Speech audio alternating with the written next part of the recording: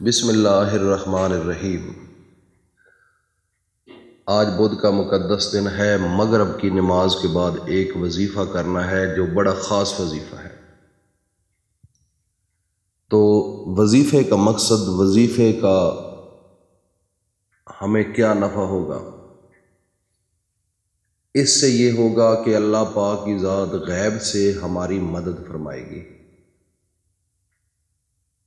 रिजक के हवाले से। और ये एक ऐसी कुरान के अंदर सूरत है कि एक दिन मेरे नबी ने फरमाया कि अगर इस कुरान की सूरत को पढ़ लिया जाए सिर्फ़ एक मर्तबा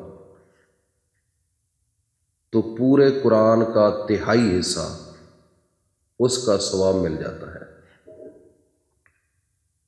तो सहाबा इकराम बड़े खुश हुए कि अगर एक दफ़ा ये सूरत पढ़ ली जाए तो पूरे कुरान का तिहाई हिस्सा से मुराद ये है कि दस सपारों का सवाब नामा या माल में लिखा जाए। तो साथ ही साहबा इकराम ने यह भी अर्ज़ किया कि या रसूल अल्लाह सल्लल्लाहु अलैहि वसल्लम अगर इसको तीन बार पढ़ लिया जाए तो क्या पूरे कुरान का स्वाब मिलेगा? अल्लाह के प्यारे पैगंबर, हज़रत मोहम्मद मुस्तफ़ा सल्लल्लाहु अलैहि वसल्लम ने जवाब दिया कि है मेरे सहाबा, अगर इस सूरत को तीन मरतबा पढ़ लिया जाए तो पूरे कुरान का सवाब आपके नामा माल में लिख दिया जाएगा। देखो ना, कितना बड़ा इस एक छोटी सी सूरत के पढ़ने का स्वभाव है। लेकिन हमने इसको समझा नहीं। हमने इसको जाना नहीं। हमने ये नहीं सोचा कि हमारे नबी के मुँह से ये बात निकली है और हम इसका एहतमाम करें। नो बस हम मुसलमान हैं। हम बड़े नेकोकार हैं। हमें लेबल लगा हुआ है मुसलमानियत का। अंदर से हम मुसलमान नहीं हैं। अगर ये लोग अंदर से हम सब मुसलमान होते तो यकीन जानिए हर चेहरे के ऊपर दाढ़ी सजी हुई होती और हर घर के अंदर मेरे नबी की शान में द्रुदो सलाम की महफिलें होती। और सुबह तहजद के वक़्त रौनकें होती, फजर के वक़्त रौनकें होती, लेकिन आज बदकिस्मती से तहजद तो दरकिनार फजर की नमाज़ पढ़ना भी नामुमकिन हो चुका है। अपने मोहल्ले में देखो, अपने इलाके में देखो, अपने घरों में नज़र दौड़ाओ, आपको सब कुछ पता चल जाएगा। ये हमारी झूठी मोहब्बत है। हमारी सच्ची मोहब्बत नहीं है। औरतों की पोजीशन देखो, बाज़ारों में जाओ। अगर औरतें अपने आप को मुसलमान कहती हैं, अपने आप को मोमिन कहती हैं तो फिर देख लो अपने नबी की बेटियों की शान, उनकी तर्ज ज़िंदगी पर नज़र दौड़ाओ। सारी ज़िंदगी हज़रत फातिमा तो जहरा का बाल नंगा नहीं हो कितना कमाल है। हया वाली औरत, बापर्दा औरत औरत जो लफज है ना, औरत, इसका लुगवी माना वो है ही पर्दा। अगर औरत पर्दे के अंदर रहेगी तो वो औरत है। अगर औरत पर्दे के अंदर रहेगी तो घर की जीनत है। अगर औरत पर्दे के अंदर रहेगी तो खामंद की इज़्ज़त है। जो औरत पर्दे से निकल जाती है, अपने आप को शो मिट करवाती है बाज़ारों में, गलियों में मोहल्लों में, रिश्तेदारों में तो उस औरत के मर्द का जो खामद होता है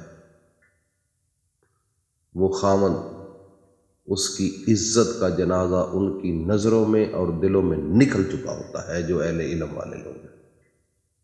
आज अगर बाजारों में चला जाए, शर्म आती है इंसान।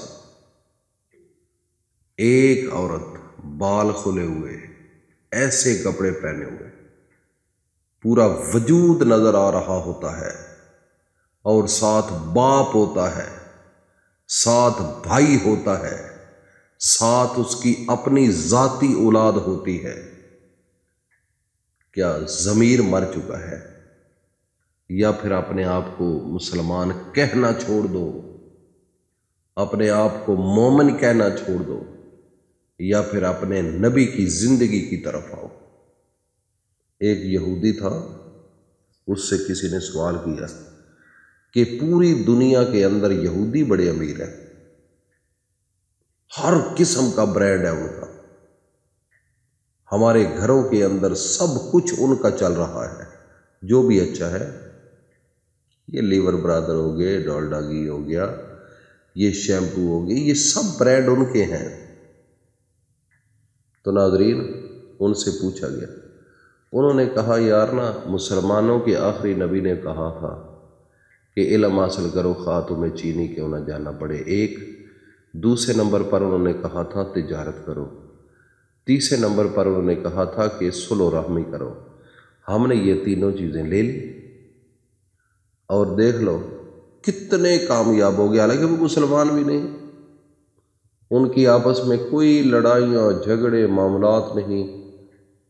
हमारे तो घर के अंदर, मुसलमानों के घरों के अंदर एक बाप के चार, पाँच, छह बेटे हैं तो वो आपस में लड़ लड़ के मर जाते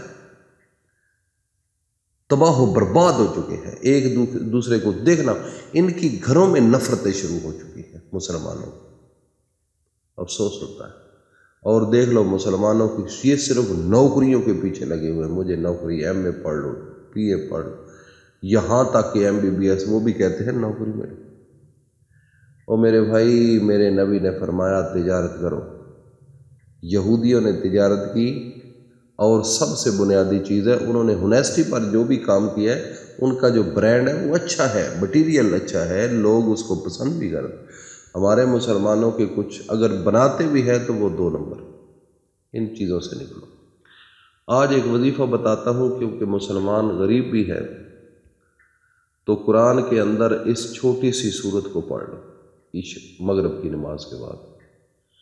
और पढ़ने का तरीका अव्वल व आखिर तीन बार दरू शरीफ और ग्यारह दफ़ा सूरत अखलास कुरान के अंदर मौजूद है, जो नमाज़ के अंदर पढ़ी जाती है अक्सर। इसको पढ़ो। इन मेरा रब गैब से मदद देगा, लेकिन अल्लाह के साथ दो नाम, या अल्लाह हो या गनी हो। इसकी एक तस्वीर पढ़कर, अल्लाह के सामने गिड़गिड़ा कर रो कर संजीदगी के साथ, यकसुई के साथ दुआ मांगो। आज बुध के दिन मगरब की नमाज़ के बाद इन नस्लें बदल जाएँगी। अल्लाह पाक वहाँ से रिजक देगा जहाँ से आप गुमान नहीं कर सकते। अल्लाह पाक हम सब का हामी नासर हो। असल